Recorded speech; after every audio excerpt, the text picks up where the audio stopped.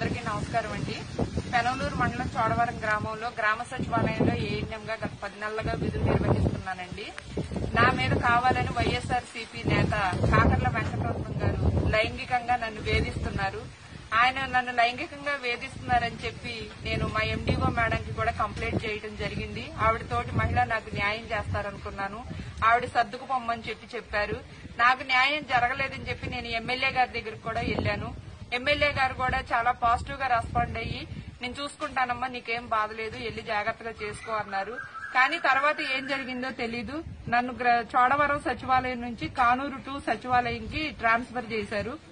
Transfer చేసిన విషయం గ్రామస్తులకు తెలిసి నేను బాగా పనిచేస్తున్నానన్న ఇదితో వాళ్ళందరూ నా తరపున ఒక యాభై మంది దాకా నిన్న ఎమ్మెల్యే గారి దగ్గరికి వెళ్ళి ఆవిడ బాగా పనిచేస్తుంది మాకు కావాలని కూడా కోరడం జరిగింది.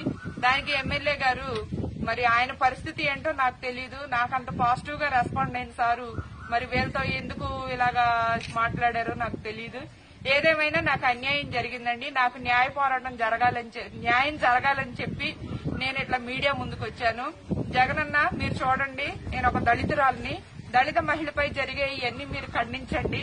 ముఖ్యంగా నేను చెప్పినటువంటి కాకర్ల వెంకటరత్నం ఆయనకి సపోర్ట్గా ఉన్న మారికొండ సూర్యతేజ మండూరు కోటేశ్వరరావు.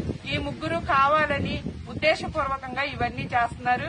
జగనన్న మీరు ఇచ్చిన ఉద్యోగంలో బతుకుతున్నాం. మీరు ఈ విషయాన్ని పరిగణలోకి తీసుకొని నాకు న్యాయం జరగాలి. విచారణ జరిపించి నాకు తప్పుంటే నాకే శిక్ష వేయండి. వాళ్ళకి తప్పుంటే వాళ్ళకి నాకైతే న్యాయం జరగాలి జగనన్న. న్యాయం జరగకపోతే మాత్రం నాకు ఫ్యామిలీ పరంగా ఉన్న పరిస్థితులను బట్టి ఆత్మహత్య చేసుకునే దారి తప్ప వేరే కనిపించట్లేదు. జగనన్న ఈ దళితురాలకి మీరే న్యాయం చేయాలి.